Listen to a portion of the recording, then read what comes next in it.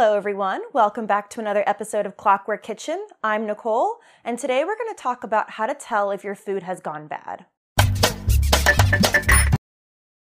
This is a two part series. Today we're going to focus on fruits and vegetables, and next week we're going to talk about meat and dairy. I will link that up above and in the description down below when that comes out. How long your food lasts can really vary. I'm gonna be totally upfront with you that there are no hard and fast rules. I'm not gonna tell you that you can only keep meat for five days exactly, or this particular vegetable for seven days exactly, and then you just have to throw it out. How long your food lasts really does depend on how fresh it was when you first bought it, how it's been prepared, and how it's been stored. And I am planning on doing a video at some point on how to store your food properly, so stay tuned for that one. And as many of you have maybe heard, expiration dates are kind of bogus, at least for the most part. There's a lot of information out there about why that is, so I'm not going to get into that today, but maybe a topic for a later day. Instead of some random number that I've plucked from the sky, I'm going to teach you how to assess your food and figure out whether it's gone bad. And in the process, this will also hopefully help you waste less food, which is really important as well. The Department of Agriculture did a study that shows that Americans throw away about a pound of food every single day, which is insane. So the more that we can know whether or not our food has gone bad, whether we should really throw it away, or whether we can actually still eat it is really important. Your best tools for figuring out whether or not something has gone bad are actually your senses. You're primarily going to rely on smell, touch, taste, and sight, not really sound though. So keep these senses in mind as we go through the video today and for next week as well. As I said, today we're gonna focus on fruits and vegetables. These are perishable items that you're storing in your fridge. Let's get started. The first group we're going to talk about are soft fruits and vegetables. These are things like leafy greens, berries, avocados, green onions, tomatoes, even, things that tend to disintegrate as they age. My general rule is I usually keep these around for about a week or so, but this can really vary on a case by case vegetable by vegetable basis. You don't have to be quite so diligent with fruits and vegetables as you do with meat and dairy because it just doesn't have the same kind of risks if you tend to kind of push the envelope a little bit. Your best indicator to tell if these fruits or vegetables have gone bad is sight you're gonna start to see either little bits of fuzzy mold or little parts going brown or things getting maybe a little bit slimy or a little discolored. Now, if you're dealing with something that has just gone a little bit bad, you can usually just pick out the bad parts and still continue eating that. So for example, I have these leafy greens here that I've had for about a week. And for the most part, they're still doing okay. So what you wanna do is you wanna open them up and take a look. And as you look through it, most of them look pretty good. They're pretty sturdy, nice and crisp still. I can tear them really nicely and they don't disintegrate. But there are a couple pieces in there that are starting to get really discolored and kind of brown looking. This piece is really sort of disintegrating. Some of it even comes off in my hands, which is not great. If you dig a little deeper, you can also see that it's starting to develop a sort of brown liquid here and it has the same little liquid on the lid. And you can see that there are even more that are disintegrated down at the bottom. You can also give leafy greens a little smell. You can actually tell that they smell a little bit off, a little bit funky, like they're starting to go bad. So this is all indicating to me that this is starting to go and I need to eat this soon, but it doesn't mean that it's all bad. So what you wanna do is you wanna just pick these pieces that are not very good out and you can still wash and use the rest. The same thing can be said for other greens like kale or arugula or spinach. You can also do this with herbs. If they get a little discolored, you just pick off the brown or you know black looking parts and use the rest of it. Another example is green onions. These are maybe a little over a week old. You can see that most of these green onions look pretty good, although this is a little bit limp, but it still feels pretty sturdy. This one, however, has a piece that really is kind of slimy and wet, and you don't wanna use that. So all you have to do is take it and peel off that part, and you can use the rest of it for whatever it is that you'd like to make.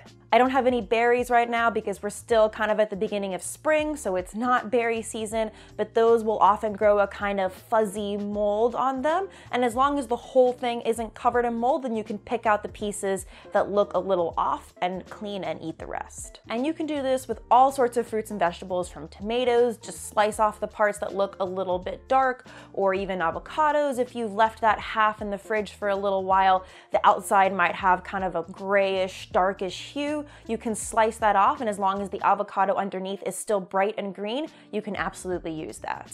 These discolorations and disintegrations are a sign that your food is starting to go bad though, so you do want to think of that as an indication that you should be using that food pretty soon. Another great indicator is smell. It's not going to apply across the board, but for certain things like tomatoes or lemons or limes or leafy greens, you can smell those and you can tell that it smells a little bit off and then maybe you either need to not use it depending on how bad it smells or you should use it probably that day. If eating these fruits and vegetables that have started to go a little bit bad makes you squeamish, or if you know that you're not able to use them right away, then a trick that you can do is you can puree them, and then if you know that you can't get to them, you can freeze them after that. So for example, with your leafy greens, you can easily make pesto. There's all different kinds of pestos you can make, not just from basil, but also from kale and arugula and spinach and Honestly, almost anything can be made into a pesto. I'm a big believer in that. If you have some fruit that you're not sure if you can use in time, you could puree that into a kind of berry sauce of some sort, and then you could freeze that and use that later on yogurt or with your pancakes or on all kinds of breakfasts or desserts or anything in between. And a fun fact is that even certain foods are marketed this way. Farmers markets in the middle of the summer will often sell tomatoes that they call seconds. These tomatoes are not of the highest quality. They tend to be a little bit bruised, maybe a little bit discolored in places. And so farmers will sell these to you at a discounted price. And these are not meant to be sliced up and put onto your salad. You're meant to take these and turn them into tomato sauce. So if you are nervous about using any of these fruits and vegetables, you can always cook them, which will kind of cook off anything that might be starting to go bad on there, or you can turn them into sauces. And especially if you add citrus, that's gonna help with the long longevity of that sauce. And of course, these are so much easier to freeze than like throwing lettuce straight into your freezer, for example. I am going to include a bunch of recipes in the description down below to kind of help you get started with some ideas.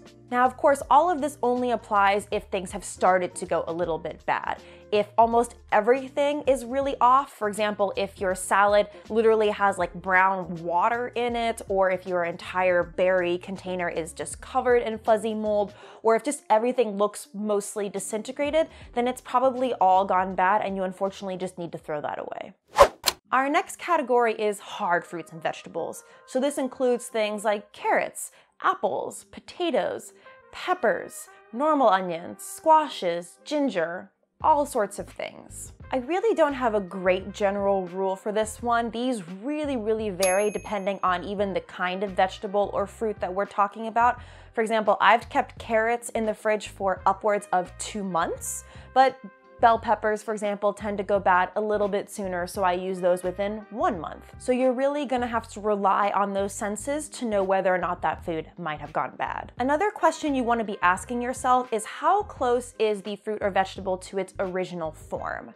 So as I mentioned, I kept carrots in the fridge for two months, but those were whole carrots that were unpeeled, uncut those are gonna last way longer than per se if you buy baby carrots, which are cut and peeled. Those are gonna go bad a lot faster. Or if you chopped up a bell pepper, for example, to prep for your meals, that's probably only going to last about seven to 10 days maybe, rather than a whole bell pepper that'll last you a lot longer. The reason for this is that when you cut things up, you create a lot more surface area that is now exposed to the elements, which just means that it could go bad faster. And as a result, you've also removed that protective layer from that fruit or vegetable. Your best indicator for these hard fruits and vegetables is going to be sight and touch. And these two things do go hand in hand. No pun intended.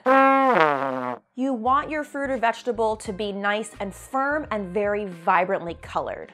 If it's discolored, or if it's squishy, or if it looks shriveled in any way, it's probably starting to go bad or has completely gone bad. But just because you see this does not mean that you need to throw it away immediately. So let's take this potato for example. From the outside, it looks a little bit green in certain areas. It has a couple of these nubs growing out or starting to grow out, which potatoes will do. It's starting to feel a little bit soft to the touch. I'm not feeling as much resistance as I used to when I press against it with my thumb. But that doesn't mean that this needs to be thrown away. A lot of times things can be a little bit bruised or off on the outside, but the inside is still totally usable. So the next step is to cut this potato in half and take a look and feel at the inside So when I cut inside, you can see that green tinge that was showing up on the outside, but it's not extending to the inside. The inside is still nice and golden. When I press against it, it's still firm.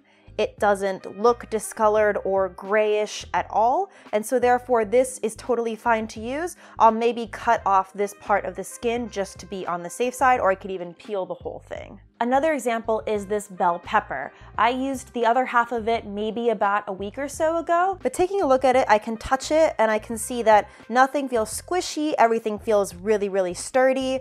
I'm not seeing any kind of discoloration at all. It all looks still really nice and bright and vibrant. And the inside also doesn't look like there's any sort of discoloration. So this is totally fine to keep and use for a future recipe, but I should probably use it within the next few days. Now there are some cases where maybe the fruit and vegetable has gone a little bad and it's just better to cook it rather than to eat it raw. So for example, if your carrots have gone a little bit droopy, these are still fine to chop up, but maybe you don't want to shred that on top of a salad. You probably want to saute that up and throw that into a cooked dish of some kind. Another example is apples. These can get a bit bruised on the outside, and sometimes if you left them for too long, the inside can taste a little bit mealy and just not have a great texture, and the inside will look a little bit darker than a fresh, crisp apple. You just wanna chop these up and turn those into applesauce. Another example is this nub of ginger. You can see right away that it looks really shriveled. It feels pretty squishy to the touch, especially if you think about how hard normal ginger is. So this is definitely on its last leg or maybe even has gone completely bad. But your next step is going to be to cut it. So I'm gonna cut off little bits of the side and take a look inside. And you can see that while it's soft here, the inside right here is still pretty firm actually. It's very crisp if I dig into it with my nail. So I think that this is still totally good to use. I am gonna make sure that I cut off a good bit of the skin. Normally I would just use a spoon to scrape off the skin, but in this case I wanna make sure that I get a good bit off. And you can see that the inside is still maybe a little bit bendy, not quite as crisp as it normally would be, but I'm getting some nice resistance still, as I said, from my fingernail. So at least I'm okay using this. I'm gonna make sure to throw this into some kind of stir fry or other dish rather than eating it raw, for example, putting it into a smoothie. Now, all of these guidelines apply to raw fruits and vegetables. So you might be asking, what if I've already cooked my vegetables? What do I do then? My general rule is that I try to eat any kind of cooked food within one week. Now, of course, with meat and fish, which I'll get into next week, you might want to eat that a little bit sooner. And vegetables, you can sometimes push up to 10 days or so. Your best indicator in this case is going to be taste. And I promise, if you take a little taste of something that you're feeling a little dubious about, you're gonna be okay. It won't kill you. So for example, I have this Tupperware of cooked broccoli that I cooked up from my last video on what to make when you're stuck at home. I'll link that up above and down below if you haven't seen that already. This broccoli was blanched, so it is cooked, and my next step is going to be to taste it. So I made that about a week ago, and um, that, that tastes pretty off, actually, unfortunately. I thought this was gonna last a little bit longer. That tastes pretty rough. And another indicator is when I took off the lid, I could immediately smell something. I could immediately smell that this smell is kind of odorous. I know smell is gonna take some time to kind of learn and develop that instinct for, but you know, if you're not sure, you can always smell things right when you cook them or right when you prepare them, and then you know, smell them a week down the line, and you can kind of tell how it evolves over time. And at least eventually, I believe that you'll develop a kind of gut reaction to smelling something and thinking, ooh, okay, that that smells a little bit questionable. I'm really not sure about that. At the end of the day, don't eat something that you're not comfortable with. That is not the takeaway here. I am not advocating for food poisoning or forcing you to eat something when you just feel completely wrong about it. That is definitely not what I'm trying to say. But the myth that I really do want to dispel is the idea that after X amount of days, you should just throw something away without inspecting it, without taking a look at it, seeing if it really has gone bad or not. Rather than giving you some random rules, I want to empower you to make those decisions for yourself. I think it's so important to think about what you're throwing away and why you're throwing it away. And in the process, you might find that you actually throw away less food, which is really great too, not just for the environment, but also for your wallets. So that wraps it up for today. Thanks so much for watching. Please help support my channel by giving this video a thumbs up, subscribe if you haven't already, and hit the little bell icon down below to be notified next time I post. If there is any other fruit or vegetable that you're struggling to figure out whether or not it's still good or whether you can still eat it, leave me a comment down below. You can send me photos or videos also on Instagram at Clockwork Kitchen. I'd be happy to help you out. And I'll see you next time on Clockwork Kitchen. Happy cooking!